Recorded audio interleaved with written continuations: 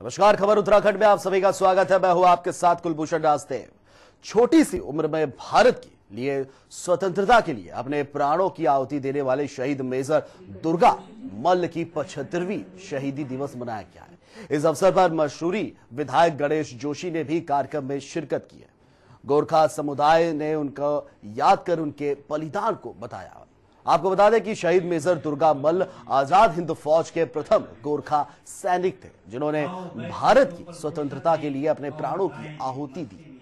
दुर्गा मल के बलिदान को बताते हुए गोरखा समुदाय ने कहा कि पूरे देश भर से आए गोरखा समुदाय के लोग इस दिवस को मनाया और उनके बलिदान को भी याद किया है। शहीद मेजर दुर्गामल जी, आज़ाद हिंद फौज। आओ बैठे दो पल फुर्सत में और गाएँ गीत मस्ती में। और वहीं उत्तराखंड को पोषण मिशन के तहत राष्ट्रीय सम्मान दिया गया है। प्रदेश के नौनिहालों के भविष्य की चिंता करते हुए राज्य सरकार ने पोषण मिशन अभियान में बेहतर प्रदर्शन किया है। इसलिए प्रदेश में मिशन को शिखर तक पहुँचने के राज्य सरकार ने आंगनबाड़ी केंद्रों में पोषित आहार दिया जा रहा है, जबकि प्राइमरी स्तर पर भी मध्यान्ह भोजन में बच्चों को मेन्यू के आधार पर पोषित भोजन दिया जा रहा है। यही वजह है कि प्रदेश के बच्चों में कुपोषण की स्थिति अब दूर हो गई है। जिसके लिए राज्य को पोषित सम्मान से नवाजा गया है। महिला बाल कल्याण सचिव सौजन्य ने बताया कि अभियान के तहत सभी आंगनबाड़ी केंद्रों और स्कूलों में वितरित हो रहे पोषित आहार में बेहतर कार्य किए गए हैं। मैदानी क्षेत्र हो या फिर पहाड़ी क्षेत्र हर जगह बच्चे के भविष्य के लिए सरकार बेहद ही गंभीर है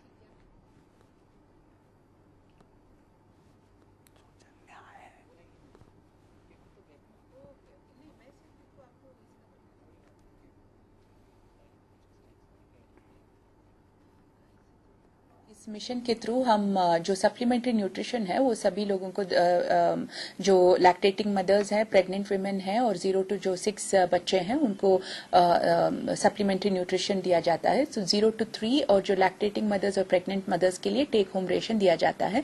और थ्री टू सिक्स का जो बच्चे हैं थ्री और टू एज इसीलिए रखा जाता है क्योंकि सिक्स के बाद वो प्राइमरी स्कूल में जाते हैं और वहाँ पे मध्यान्ह भोजन वहाँ पे मिल जाता है।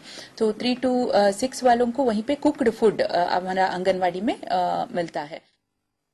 और वहीं रुद्रपुर में बीजेपी विधायक राजकुमार ठकुराल ने एक कार्यक्रम में शिरकत की। इस दौरान बीजेपी विधायक ठुकराल कांग्रेस पर जमकर बरसे और विधायक ने पूर्व मुख्यमंत्री हरीश रावत को भी आड़े हाथ लिया। इस दौरान बीजेपी विधायक ने कहा कि कांग्रेस के पूर्व मुख्यमंत्री हरीश रावत ने एक होटल में विधायकों के खरीद फरोख के लिए पाँच करोड़ का ऑफ़र किया और ये बात खुद हरीश रावत ने अपने मुँह से कही है। विधायक ने कहा कि जो व्यक्ति खुद अपने मुँह से ये बात कह रहा है तो वो कब तक बचेगा?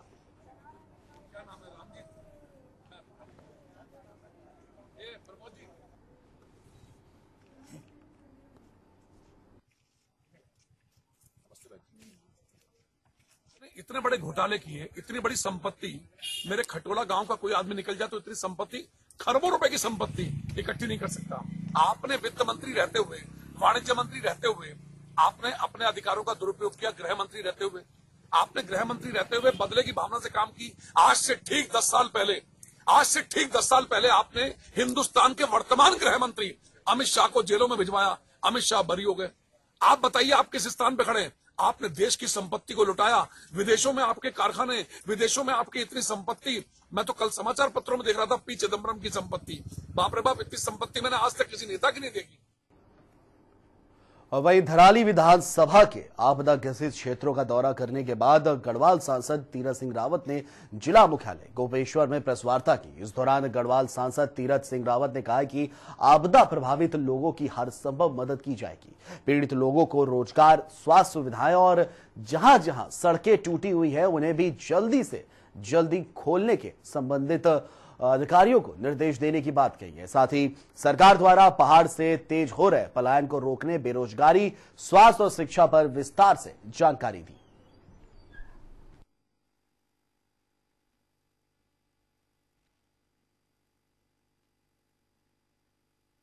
परिस्थितियों का प्रदेश है। संघर्ष किया पर्वतीय लोगों ने कि यहाँ की भौगोलिक परिस्थितियों के हिसाब से अपना राज्य होगा। उस तरह का विकास होगा। लेकिन ये नहीं है, यहाँ ढुलान है, वहाँ से यहाँ लाना सारी चीज़। सीमेंट एक कई तरह का है। तो उसमें गुणवत्ता नहीं आती है। क्वांटिटी, क्वालिटी तब होगी जब पूरा पर्याप्त धन, ये सारी चीज़ें उसके हिसाब से होगा। और वहीं प्रदेश के रुड़की के भगवानपुर में चंद सेकंड में लाखों कैश और लाखों के सोने और चांदी के माल को लूट कर ले जाने वाले शातिर हथियार बंद लुटेरों का सीसीटीवी फुटेज सामने आ गया है, जिसमें चंद सेकंड के भीतर ही ज्वेलर्स के शोरूम में हथियार बंद बदमाश लूट की वारदात को अंजाम देकर फरार हो जाते हैं। आपको बता दें कि वारदात 21 अगस्त की दोपहर ढाई बजे की है, जिसमें दिन दहाड़े हथियारों के बल पर, ज्वेलरों के ज्वेलर्स के शोरूम में चार अज्ञात बदमाश हेलमेट और मुँह पे गमछे लपेट कर शोरूम में घुस जाते हैं और इसके बाद बदमाश ज्वेलरी के शोरूम में पहले से मौजूद ग्राहकों को धमकाते हैं और उसके बाद शोरूम के मालिक को घायल कर चाबी लेते हैं। उसके बाद शोरूम में रखी लाखों की नकदी और आभूषण लेकर फरार हो जाते हैं। वहीं कई दिन बीत जाने के बाद भी बदमाशों का कोई सुराग पुलिस के हाथ अभी तक नहीं लग पाया है।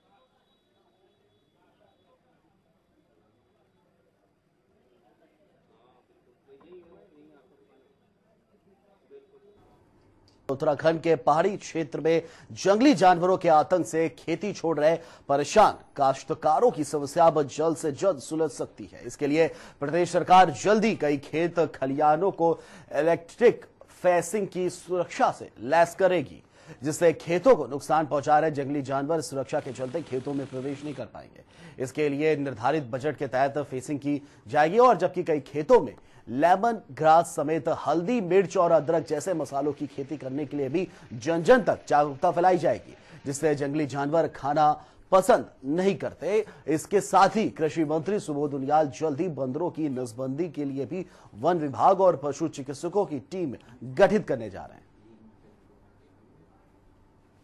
इस राज्य में जिस तरह से विशाल क्षेत्र है और फेंसिंग में कम से कम अगर आप देखें जो सरकार का बजट है उसका सौ साल तक नहीं दिखता तो हम लोगों को जागरूक कर रहे हैं कि फेंसिंग आज जैसे लेमन ग्रास है। लेमन ग्रास को अगर लगा दिया जाए खेत के चारों में तो कभी भी जंगली जानवर उसकी खुशबू से दूर नहीं जाता बाँस, कुछ जगह हम बाँस को विकल्प के रूप में रख रहे हैं, क्योंकि बाँस को अब कृषि उत्पादन घोषित कर दिया भारत सरकार ने। तो बाँस की फेंसिंग भी की जा सकती है, दमिश्क गुलाब है, इसकी फेंसिंग की जा सकती है। बाकी सरकार का जितना बजट है। हम कोशिश कर रहे हैं जो हम आईएमए विलेज के अंतर्गत जो हर ब्लॉक में एक गाँव को हम ले रहे हैं, उसमें हंड्रेड परसेंट और जहाँ एक और देवभूमि उत्तराखंड के कई जिलों में डेंगू का कहर बढ़ता ही जा रहा है तो वहीं रुड़की में भी अब डेंगू ने अपनी दस्तक दे दी है। रुड़की क्षेत्र में अभी तक लगभग एक दर्जन से भी अधिक डेंगू के संदिग्ध मरीजों का निजी अस्पतालों में उपचार चल रहा है। तो वहीं दूसरी ओर स्वास्थ्य विभाग ने उनमें से कुछ मरीजों में डेंगू की पुष्टि भी की आपको बताते चले कि डेंगू के बढ़ते मरीजों को लेकर स्वास्थ्य विभाग ने रुड़की के सरकारी अस्पताल में एक डेंगू वार्ड भी बनाया है, जिसमें डेंगू के मरीजों का इलाज किया जा रहा है। अस्पताल प्रबंधन की मारे तो डेंगू से निपटने के लिए इंतज़ाम किए गए हैं। वहीं अभी इस वार्ड में डेंगू का एक मरीज़ भर्ती है, जिसका इलाज जारी है। सीएमएस ने बताया कि रुड़की के सिविल अस्पताल में डेंगू के मरीजों के लिए अलग से छह बेड का वार्ड बनाया गया है, जिसमें डेंगू के मरीजों का इलाज किया जा रहा है।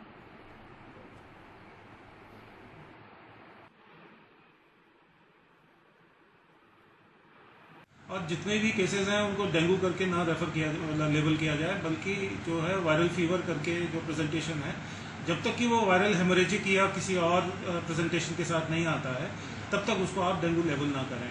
और एलाइजा पॉजिटिव ना हो, तब तक डेंगू लेवल ना करें। तो इससे जो है, एक तो पैनिक नहीं क्रिएट होगा, दूसरा जो है, सही इलाज मिलने में उसको आसानी होगी। हमारे पास तो एक ही मरीज़ आया था, वो अभी पुष्टि, उसका ब्लड सैंपल भेज दिया गया है, अभी तक उसकी पुष्टि हुई नहीं है। और वहीं पूर्व वित्त मंत्री अरुण जेटली को बीजेपी प्रदेश कार्यालय में तमाम नेता और कार्यकर्ताओं ने भावभीन श्रद्धांजलि दी है। इस दौरान मेयर सुनील उलियाल गामा प्रदेश महामंत्री अनिल गोयल और महानगर अध्यक्ष विनय गोयल समेत कैंट विधानसभा के विधायक हरवंश कपूर समेत कई कार्यकर्ता प्रदेश कार्यालय में मौजूद रहे। वहीं महामंत्री अनिल गोयल ने कहा कि अरुण जेटली के यू चले जाने से भारतीय जनता पार्टी के साथ ही पार्टी के लिए भी एक अपूर्णीय क्षति है। साथ ही ये कहा है कि अरुण जेटली एक विनम्र स्वभाव के व्यक्ति थे और उनका उत्तराखंड से भी विशेष लगाव भी की देश हित में उन्होंने किए हैं। उनको कोई सकता उनके व्यवहार को पक्ष और विपक्ष सभी पसंद करते थे।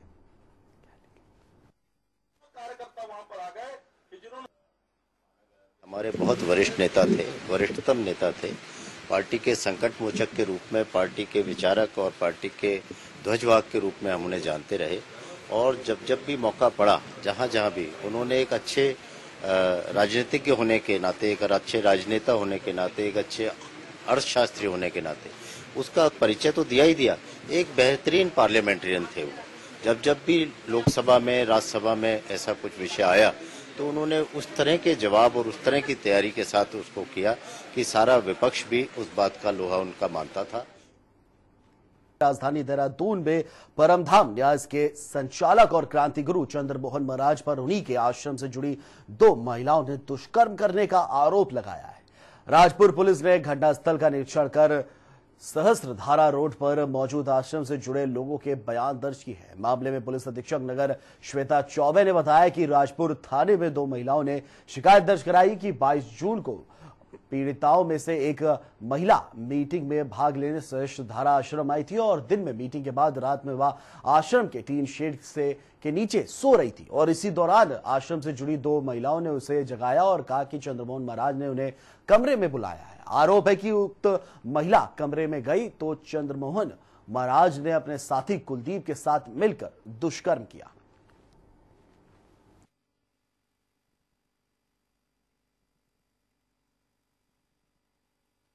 गाँव जो सहजदारा क्षेत्र में पड़ता है, रायपुर थाना क्षेत्र अंतर्गत आता है। यहाँ राजपुर थाने में आके दो महिलाओं ने इस संबंध में जो है तहरीर दी। कि उनके साथ उस आश्रम में जो वहाँ सेरा गाँव में स्थित आश्रम है, वहाँ दुष्कर्म किया गया था।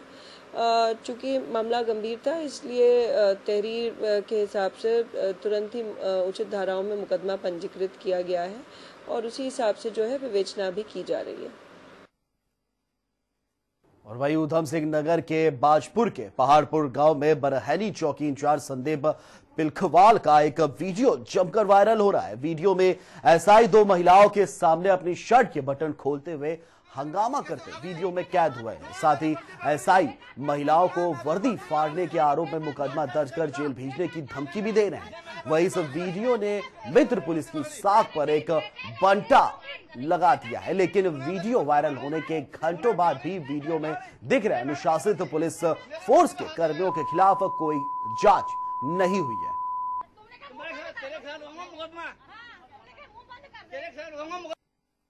वारंटी के परिवार के साथ कुछ झड़प हुई, कुछ कहा सुनी हुई तो उसको लेकर एक वीडियो भी वायरल हुआ है, जिसका संज्ञान लेते हुए हमारे एसएसपी महोदय ने एक जाँच तुरंत इसके आदेश दिए हैं, वो जाँच मेरे द्वारा संपादित की जा रही है, और जाँच में जो भी तथ्य आएँगे, उसकी रिपोर्ट जो है एसएसपी महोदय को प्रेषित की जाएगी, उसके बाद ही अग्रिम कार्रवाई की जाएगी। और बाजपुर में ही कोतवाली के अंतर्गत बरहनी पुलिस चौकी की लापरवाही सामने आई है। पुलिस ने छात्र नेता मनदीप खैरा के गिरफ्तारी वारंट के मामले में दर्ज एफआईआर में ही खेल कर दिया है। मौके पर मनदीप खैरा नहीं होने पर भी उसे नामजद आरोपी बना दिया गया है। मामले में सीओ कमला मिश्र ने कहा कि एसआई की ओर से दी गई। तहरीर में संदीप खैरा का नाम नहीं था। इसे मामले में पुलिस चौकी बरहैनी में तैनात सिपाही से भी स्पष्टीकरण भी मांगा गया है।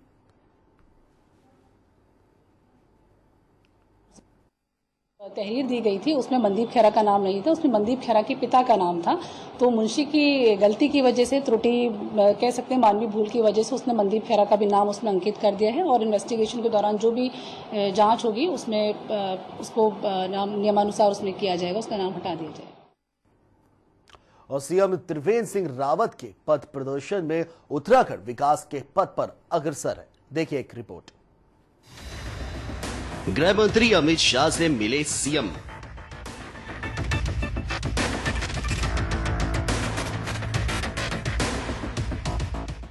मुख्यमंत्री त्रिवेंद्र सिंह रावत ने नई दिल्ली में नॉर्थ ब्लॉक में केंद्रीय गृह मंत्री अमित शाह से भेंट कर उत्तराखंड में अतिवृष्टि से हुई जनधन हानि की जानकारी दी।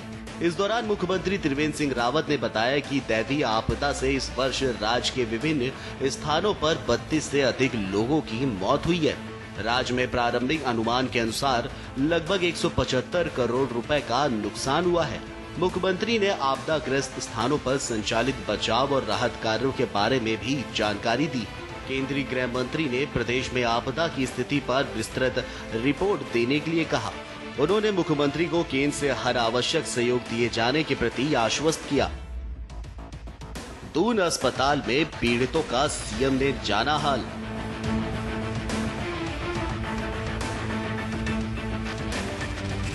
उत्तराखंड के मुख्यमंत्री त्रिवेंद्र सिंह रावत ने दून अस्पताल में भर्ती आराकोट त्यूनी मोरी एवं उनके आसपास के गाँवों के आपदा पीड़ितों का हालचाल जाना।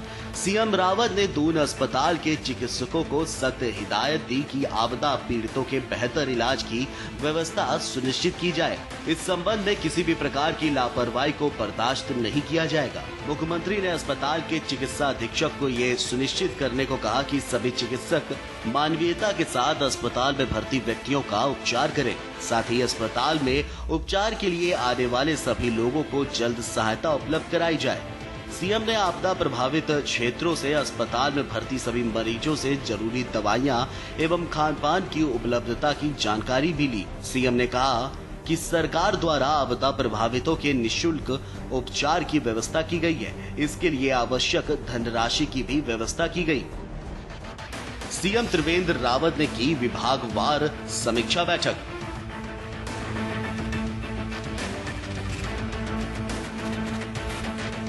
उत्तराखंड में विभाग बार समीक्षा बैठकों का दौर लगातार जारी है। सीएम त्रिवेंद्र सिंह रावत अगस्त माह से लगातार विभागों में हुए विकास कार्यों की समीक्षा बैठक कर रहे हैं।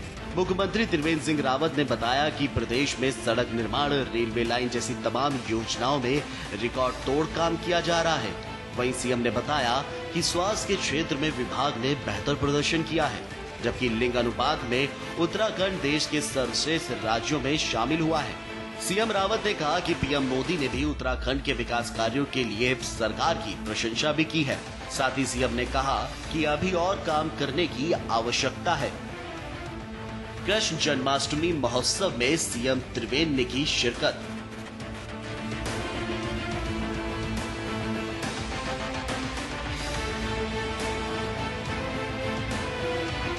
देहरादून में श्रीकृष्ण जन्माष्टमी का त्योहार धूमधाम से मनाया गया। दिन भर श्रद्धालुओं ने व्रत रखकर भजन कीर्तन किया और रात 12 बजते ही घंटा घड़ियालों के साथ बधाइयाँ बजनी शुरू हो गई। श्रद्धालुओं ने गोले, पटाखे ताके और आरती की। महिलाओं ने गोकुल में बजत है बधैया नंद के घर जन्मे कन्हैया सहित सोहर गीत गाए। पर देहरादून पुलिस लाइन में भी पुलिस अधिकारियों और कर्मचारियों ने भी श्रीकृष्ण जन्माष्टमी बड़े धूमधाम से मनाया। कार्यक्रम में मुख्यमंत्री त्रिवेंद्र सिंह रावत, राज्यपाल बेबी रानी मौर्य और पुलिस महानिदेशक के साथ कई अधिकारी शामिल हुए। पुलिस लाइन में सांस्कृतिक कार्यक्रमों का शुभारंभ सीएम त्रिवेंद्र सिंह रावत ने दीप प्रज्वलित कर किया। जन्माष्टमी के मौके पर सीएम त्रिवेंद्र ने प्रदेश वासियों को शुभकामनाएँ दी और कहा कि सभी को कृष्ण और सुदामा जैसे मेल रखने चाहिए। सचिवालय में सीएम त्रिवेंद्र ने पॉलीथीन की बैन।